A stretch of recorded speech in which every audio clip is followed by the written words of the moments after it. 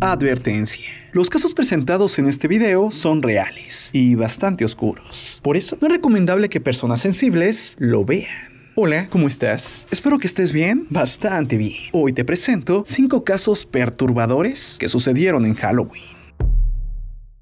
La noche del 31 de octubre, en Canadá, Estados Unidos, Irlanda y Reino Unido, se celebra Halloween, el cual tiene su origen en una festividad celta, conocida como Samhain o Samain. En esa festividad se celebraba el final de la temporada de cosechas y era considerado como el Año Nuevo Celta, que comenzaba con la estación oscura. Los antiguos celtas creían que en esa fecha la línea que une este mundo con el otro mundo se estrechaba, permitiendo a los espíritus tanto benévolos como malévolos poder llegar a este mundo. De esta manera, los ancestros familiares eran invitados y hasta homenajeados, mientras que los espíritus dañinos eran alejados. Es por eso que las personas ocupaban trajes y máscaras para ahuyentar a estos espíritus malignos. Su propósito era adoptar la apariencia de un espíritu maligno para evitar ser dañado. Ahora bien, actualmente en esa fecha, para muchos es diversión. Juegan de disfrazarse de seres monstruosos, pedir dulces, realizar travesuras y hacer fiestas. Pero otros en cambio siguen creyendo que esta fecha abre portales al otro mundo y trae seres de oscuridad. Y es por eso que el 31 de octubre ha sido una fecha en que algunos hechos realmente terroríficos se han dado.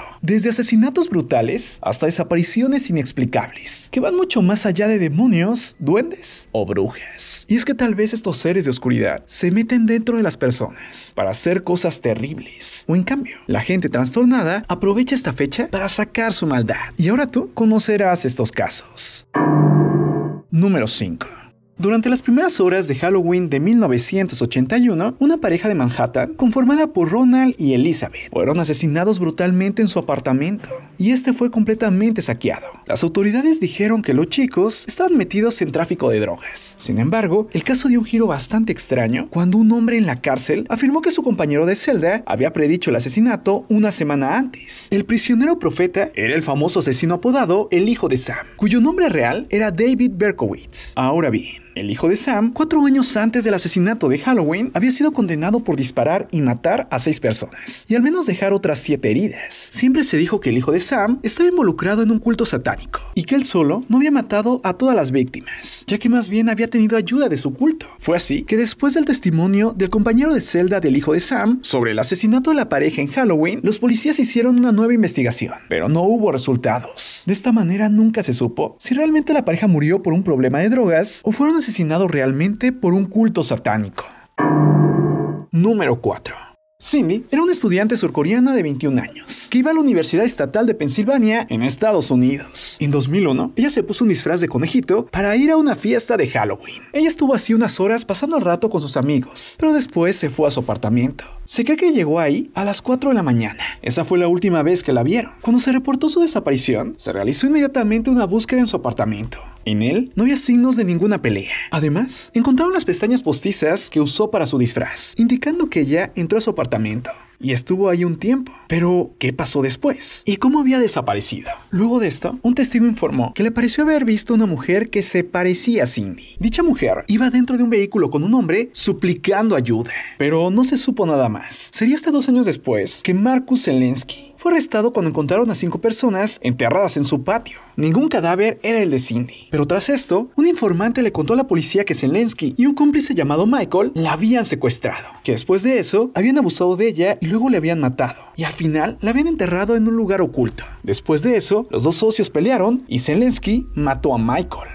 Luego de este testimonio, se hizo una búsqueda en la casa de Zelensky y en su patio encontraron el cuerpo de Michael. Es así que tal vez el informante tenía razón sobre el caso de Cindy. Pero por más que buscaron el cuerpo de Cindy, nunca lo hallaron. Pasaría un tiempo más, y en enero del 2014, los restos quemados de 12 personas más fueron encontrados en la propiedad de Zelensky. Pero tampoco pudieron encontrar a Cindy. Es así que hasta el día de hoy, Cindy sigue estando desaparecida. Es así que la duda surge. Si es verdad que fue secuestrada por Zelensky, ¿cómo fue que la raptó? Si no había habido violencia en su apartamento, sino más bien pareciera que ella simplemente se esfumó.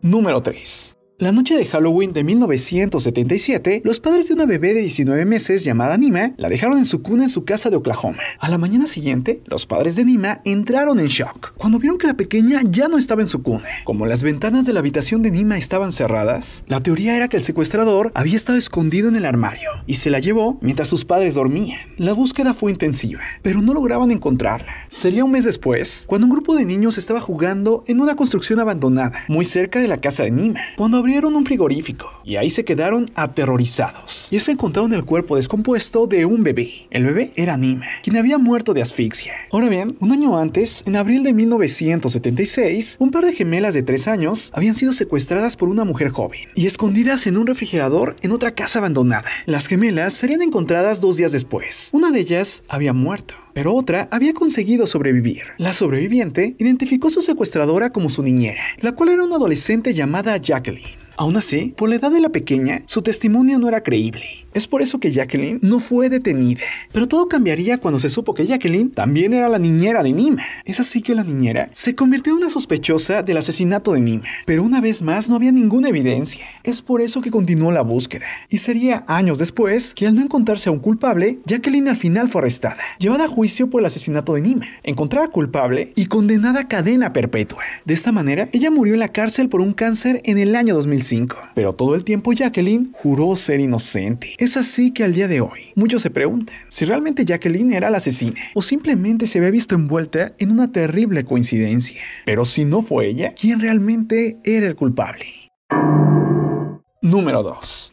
Chaim Weiss era un chico de tan solo 15 años de edad que practicaba el judaísmo ortodoxo. Él asistía a una escuela secundaria en Nueva York. Parecía que tenía una vida normal, pero todo cambiaría la mañana después de Halloween del año 1986. Y es que su colegio entero fue sorprendido cuando el chico fue descubierto muerto en su dormitorio. Había sido asesinado de una manera perturbadora, pero el arma del crimen no pudo ser encontrada. Jaime era un chico bastante popular, por lo que nadie podía imaginar el motivo de dicho crimen. Cuando se hizo la investigación, se encontraron señales de que el asesino estaba familiarizado con las costumbres religiosas del judaísmo ortodoxo, como por ejemplo que a pesar de que había sido una noche fría, la ventana del dormitorio de Jaime estaba abierta, una costumbre que a menudo se hace en esta fe para que el espíritu de la persona fallecida pueda salir. Ahora bien, tras la muerte del chico, uno de los rabinos del colegio dejó una vela conmemorativa en la habitación de Jaime, pero dos días después, otra vela apareció en su habitación, pero nadie admitió haberla colocado. Tras la investigación, se descubrió que no había signos de que la entrada hubiera sido forzada, por lo que el asesino estaba familiarizado en el dormitorio.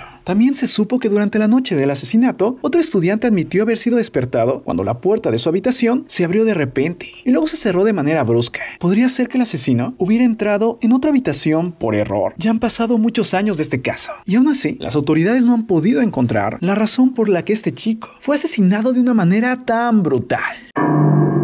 Número 1. En el Halloween de 1979, el cuerpo de una joven fue encontrado en una alcantarilla en Texas. La víctima parecía tener unos 20 años y había sido muy lastimada. Esto en todo sentido. Parecía haber sido asesinada ese mismo día. Y la única pista de su identidad era un anillo de plata que tenía en su mano. La víctima estaba desnuda y la única prenda que llevaba era un par de calcetines de color naranja. Por eso sería simplemente llamada calcetines naranjas. Tras una larga investigación, no se encontró al culpable. Pero años después, el asesino en serie Henry Lee Lucas confesó su asesinato y todavía narró cosas terribles que le hizo al cuerpo. Aún así, Henry no dio la identidad de la mujer, y es que dijo haberla recogido por la carretera y que su nombre era Joanny o Judy. Parecía que por fin el caso estaba resuelto, aunque no se sabía quién era, pero sí quién la había matado. Pero extrañamente, después de ser condenado a muerte en 1984, Henry se retractó. De hecho, una investigación a fondo demostró que Henry estaba trabajando en Florida el día del asesinato. Es así que él no pudo haberla matado. Además, se supo que Henry solía confesar asesinatos que él no realizaba. Es así que nunca se supo el número real de sus víctimas. Henry moriría en prisión en el año 2001. Y es así que la verdad sobre calcetines naranjas nunca se supo. Bueno, ahora tú ya conoces cinco casos perturbadores que sucedieron en Halloween. Yo te vuelvo a preguntar, ¿tú crees que realmente seres malignos se conectan en esa fecha a este mundo y provocan que las personas hagan cosas terribles? O en cambio, la gente trastornada hacen cosas perturbadoras simplemente por la llegada de Halloween. Antes de irme, te invito a que conozcas mi canal de misterio y horror, llamado Archivos Miedo. Pero ten cuidado, es muy perturbador. Aún así, si eres valiente, Archivos Miedo es para ti. Yo soy Marco Antonio C. y esto, eso es tu Cosmópolis. Nos vemos pronto. Un abrazo fuerte, bye.